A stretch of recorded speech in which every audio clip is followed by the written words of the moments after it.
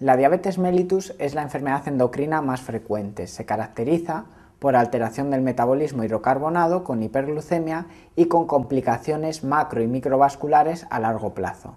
Además, se acompaña de descompensaciones agudas en forma de cetoacidosis, crisis hiperosmolares o hipoglucemias. Básicamente podemos hablar de dos grandes tipos de diabetes, diabetes mellitus tipo 1 y tipo 2. La diabetes tipo 1 es típica de pacientes jóvenes. Se debe a mecanismo autoinmune, desencadenado probablemente por alguna infección viral en pacientes predispuestos, pero de causa desconocida. Esta inflamación autoinmune ocasiona insulinitis con pérdida de islotes pancreáticos y pérdida progresiva de la secreción de insulina, hasta que la secreción de insulina no decae por debajo del 10%, no suele aparecer clínica. Y cuando la clínica aparece, lo hace de forma aguda, en el plazo de escasas semanas o pocos meses. La clínica suele ir precedida de un cuadro de clínica cardinal, que no es siempre es aparente y que suele constatarse en el interrogatorio a posteriori, con astenia, polifagia, polidisia, poliuria, y es típico el debut como cetoacidosis diabética. Por tanto, en la patogenia de la diabetes tipo 1 hay un déficit de secreción de insulina sin que haya resistencia periférica a la insulina. En la diabetes tipo 1 es vital el tratamiento con insulina. No son útiles los antidiabéticos orales. La insulina retarda la aparición de complicaciones micro y macrovasculares y reduce el riesgo de descompensaciones hiperglucémicas, aunque aumenta el riesgo de hipoglucemias. Con el tratamiento prolongado con insulina puede aparecer resistencia a la insulina por síntesis de anticuerpos contra la insulina.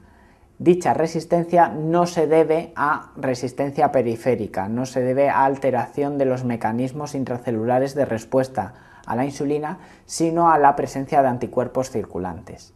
Por contraste, la diabetes tipo 2, que es mucho más prevalente, es una enfermedad típica de pacientes de edad adulta, muy relacionada con el estilo de vida y la obesidad y que tiene una importante predisposición familiar. La diabetes tipo 2 patogénicamente implica un déficit de secreción de insulina, pero sobre todo resistencia periférica a la acción de la insulina. Para el tratamiento de la diabetes tipo 2 son útiles los antidiabéticos orales, de los que hay básicamente dos tipos, los que aumentan la secreción pancreática de insulina y los que reducen la resistencia periférica. Aparte, en el manejo de la diabetes tipo 2, en algún momento de la evolución puede ser necesario añadir insulina al tratamiento.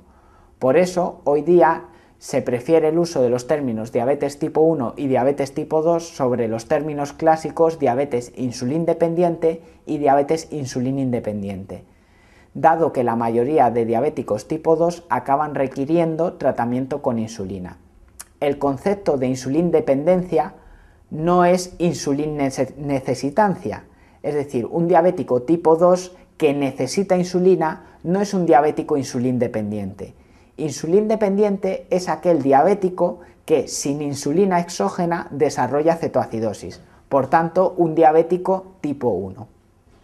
El diagnóstico de diabetes tipo 2 se suele realizar por screening a pacientes de riesgo. No suele ser por clínica específica de diabetes.